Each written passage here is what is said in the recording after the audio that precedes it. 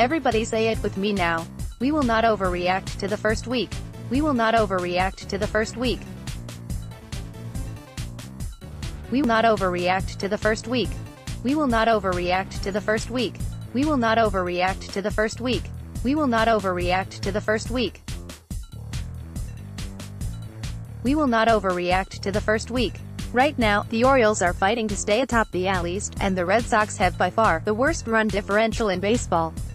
As a reminder, last season Boston finished a historic 61 games ahead of Baltimore in the AL East, and if anything, the Orioles roster has only gotten worse. So, as long as they sit in the wrong spots within their division, it's safe to assume it's early enough to not put too much stock in current stats across the league. Click here to see the updated 2019 MLB Power Rankings that said, the idea of signature significance can apply. If a team is so good, or so bad, this early, it can be a sign of things to come. The Red Sox, for example. It's too early to drop them very far, but with as bad as they've looked, it's at least reasonable to drop them when in the upper tier of teams. The same is true of most teams. It's too early to drastically adjust who we know the contenders to be, but within each tier of teams, it's fair to tweak things. And hey, how many weeks this season will we see an Orioles four-game winning streak? It was enough to push them out of the dreaded 30th spot in the rankings, and that's cause for celebration in Charm City. Click here to see the updated 2019 MLB Power Rankings More baseball news, the Nationals got their revenge on Bryce Harper and the Phillies with a wild 9-8 win on Wednesday. Here's what you need to know as Washington heads to New York to take on the Mets Thursday. Player notes, after sealing the Nationals' victory Wednesday with a walk-off walk, Jake Noll was optioned to Triple A Fresno after the game to make room on the roster for Howie Kendrick. But with his ability to play both corner and field spots and all around the outfield, Noll could be back with the big league squad very soon. In other injury news, starting pitcher Anibal Sanchez was forced to depart after just four innings of work against the Phillies Wednesday after being struck by an Andrew McCutchen comebacker in the third. Davey Martinez, Sanchez is dealing with a bruised hip.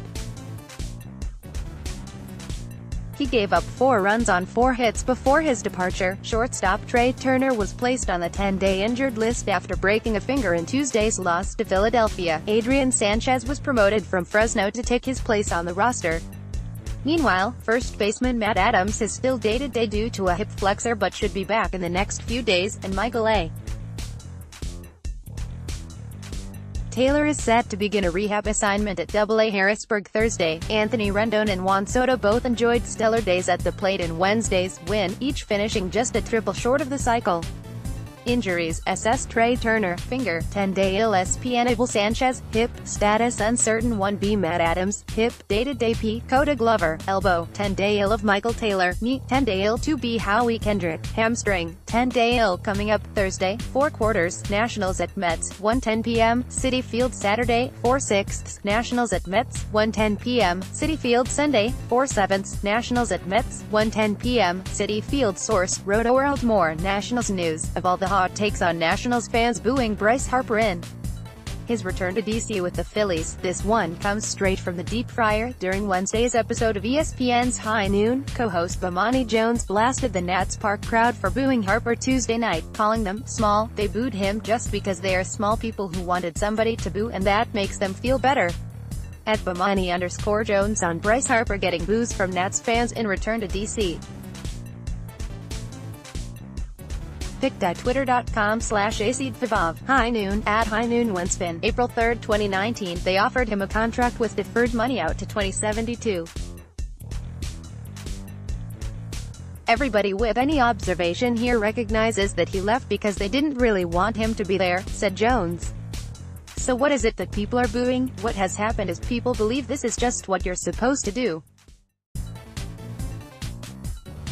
It is just supposed to be part of the fan experience, and as a result, they booed him just because they are small people who wanted somebody to boo and that makes them feel better. However, Jones' counterpart Pablo S. Torre defended the fans who booed Harper, I liked it because I like Bryce Harper as a wrestling heel. I want more Bryce Harper calling for the boos to his ear, said Torre. I want the bad blood.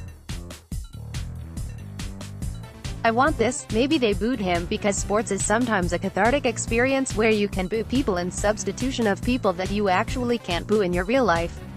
You can say Nets fans are perhaps a little petty for booing Harper, but their hatred for him is very sincere. In fact, some of them now side with Jonathan Papelbon for trying to choke Harper in 2015, and no matter what Jones or anyone else says, Nats fans won't stop booing Harper until his final days in the majors. More Nationals news